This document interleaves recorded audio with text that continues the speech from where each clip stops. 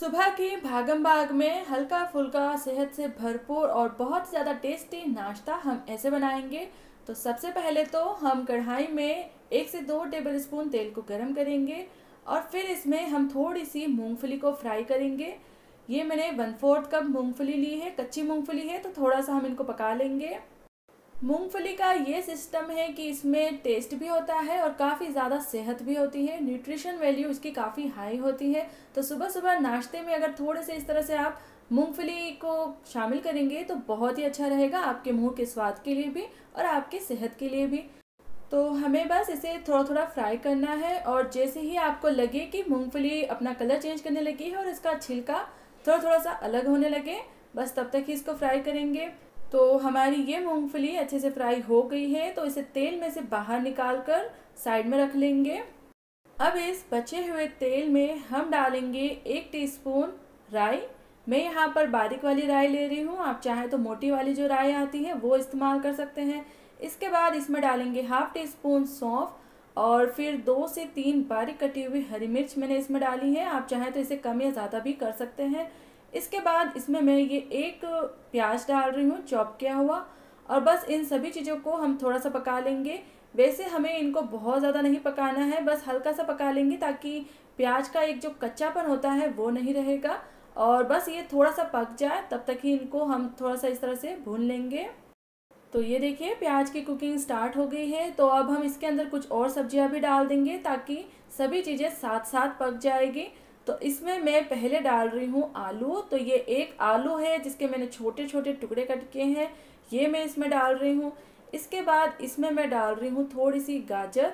तो ये लगभग एक गाजर है जिसे मैंने छील कर छोटे टुकड़ों में काट कर लिया है। आपको जो भी सब्ज़ी पसंद हो, अपनी पसंद की सब्ज़ियाँ आप इसमें शामिल कर सकते हैं। जो नहीं पसंद है, उसको हटा सकते हैं। मैं इसमें थोड़े से मटर के दाने भी डाल रही हूँ। लगभग ये वन फोर्थ कप है। मैं यहाँ पर कच्चे मटर इस्तेमाल कर रही हूँ तो अभी डाल रही हूँ। अगर आप फ्रोज़न मटर यूज़ करते हैं तो बाद में डाल सकते हैं। और इसके बाद थोड़ी सी मैंने ये फूल गोभी के फ्लोरेट्स लिए हैं। तो ये छोटे छोटे फूल गोभी के फूल, ये भी हम इसमें डाल देंगे। और बस सारी चीज़ों को मिलाकर थोड़ा थोड़ा इनको भी पका लेंगे। अब जो सब्ज़ियाँ हैं, ये पूरी तरह से कच्ची है तो ये अच्छे से पक जाए। उसके लिए इसमें हम डालेंगे एक टीस्पून नमक।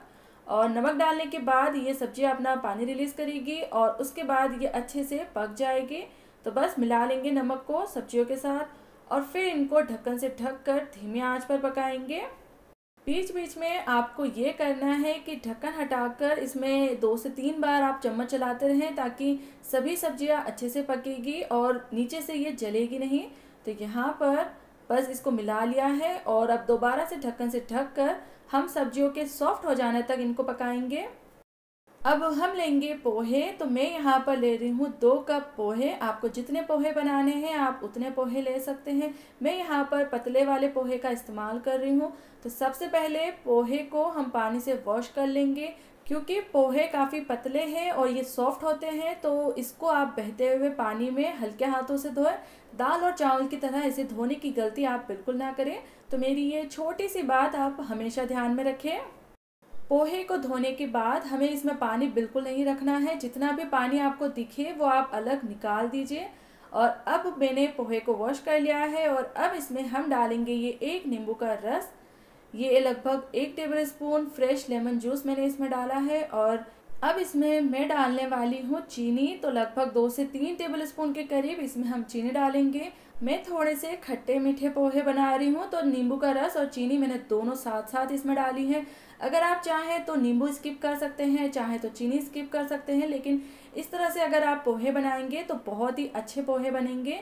तो बस अब पोहे में हम नींबू का रस और चीनी को दोनों को ही हल्के हाथों से मिला लेंगे। और फिर इसके बाद हम इनको पाँच मिनट के लिए ऐसे ही छोड़ देंगे। अब एक बार जब आपको लगे कि सब्ज़ियाँ सॉफ्ट होने लगी है, तब हम इसमें कुछ मसाले डालेंगे। तो मैंने इसमें सबसे पहले डाली है लाल मिर्च। तो मैंने हाफ़ टी स्पून लाल मिर्च का पाउडर डाला है और वन फोर्थ टी स्पून मैंने हल्दी पाउडर डाली है। इसके बाद इसमें मैं डाल रही हूँ ये half teaspoon chaat masala. अब अगर आपको थोड़ा सा इसमें मसालेदार स्वाद भी पसंद है तो आप चाहें तो हाफ़ टी स्पून इसमें गरम मसाला पाउडर भी डाल सकते हैं, लेकिन मुझे इसमें गरम मसाला बिल्कुल नहीं पसंद है। तो बस मैं इन्हीं मसालों को इन सब्जियों में अच्छे से मिला लूँगी और इस तरह से हमें इनको धीमी आँच पर पकाना है। अगर आपको किसी भी टाइम ये लगे कि मसाले जलने लगे हैं, सब्ज़ियाँ सही से नहीं पक रही हैं तो आप इसमें थोड़े से पानी के छींटे डालकर इसको ढक्कन से ढककर अच्छे से पका सकते हैं। हमें बस इन सभी सब्जियों को इतना पकाना है कि ये सॉफ्ट हो जाए, लेकिन पूरी तरह से मेशी ना हो, आप इस बात का ज़रूर ध्यान रखें। तो यहाँ पर हमारी जो सब्ज़ियाँ हैं, वो अच्छे से खाने लायक पक चुकी है। तो बस अब ये टाइम है इसमें पोहे डालने का। तो जो पोहे में हमने नींबू का रस और चीनी मिलाकर रखी है, वो पोहे हम इसमें डाल देंगे। इसी के साथ जो सबसे पहले हमने मूंगफली फ्राई करके निकाल कर रखी थी वो डाल देंगे और थोड़ा सा बारीक कटा हुआ हरा धनिया डाल देंगे। और बस धीमी आँच पर एकदम हल्के हल्के हाथों से अब हम सारी चीज़ों को मिलाएँगे। हमें इनको इस तरह से मिलाना है कि पोहे में इन सारी चीज़ों का अच्छा सा टेस्ट आ जाए और कलर चढ़ जाए अच्छे से। तो इस तरह से मिलाएँगे ताकि पोहे टूटेंगे भी नहीं और एकदम बढ़िया से खिले खिले पोहे बनेंगे। पोहे को पकाने में बिल्कुल भी टाइम नहीं लगता है तो बस जैसे ही सारी चीज़ें अच्छे से मिल जाए, तुरंत ही हम गैस के आँच को बंद कर देंगे और सर्व करने से पहले हम इसको दो मिनट ढक्कन से ढककर ऐसे ही छोड़ देंगे ताकि अपनी ही स्टीम के अंदर पोहे और अच्छे से पक जाएँगे और एकदम जब आप ढक्कन खोलेंगे, तब आपको पोहे कुछ कुछ ऐसे देखने को मिलेंगे। तो देखिए, एकदम बढ़िया से खिले खिले पोहे तैयार है। तो अब ये जो हमारे पोहे बने हैं, इसमें स्वाद और सेहत दोनों ही भरपूर है। तो बस अब देर किस बात की, जल्दी से हम ये गर्मा गर्म हमारे मिक्स वेजिटेबल पोहे को सर्व करेंगे। इस तरह से ये हमारे गर्मा गर्म पोहे बनकर तैयार है खाने के लिए, जो कि बहुत ही ज़्यादा टेस्टी और चटपटे बने हैं। तो आप भी इसे इस तरह से बनाइए, खाइए और सबको खिलाइए, सबको ये बहुत पसंद आएँगे। और अगर आपको मेरी ये रेसिपी पसंद आई हो तो प्लीज़ इसे ज़रूर लाइक करें शेयर करें और हमारे चैनल ए टी एमिशस को प्लीज़ ज़रूर से सब्सक्राइब करें, ताकि आगे भी आपको इसी तरह की रेसिपीज़ मिलती रहे। और नई रेसिपीज़ के नोटिफिकेशन के लिए बेल आइकन पर क्लिक करना बिल्कुल ना भूलें।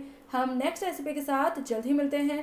Till then enjoy this tasty tasty pohe and thanks for watching ATM Issues.